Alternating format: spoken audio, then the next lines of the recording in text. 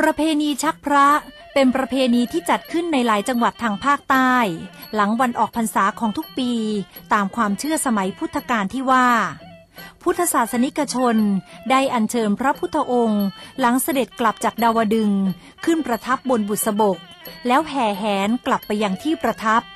และมีชาวบ้านมารอรับเสด็จอย่างเนืองแน่น จนต้องเอาพัตตาหารห่อใบไม้ โยนเข้าไปที่บาทของพระพุทธองค์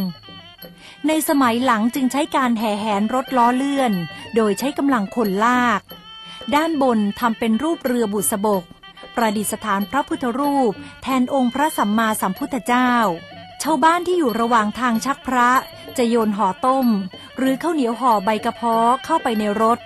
เสมือนถวายพัตตาหารพระพุทธองค์ เมื่อครั้งพุทธกาลสนับสนุนโดย ธนาคารกรุงศรีอยุธยา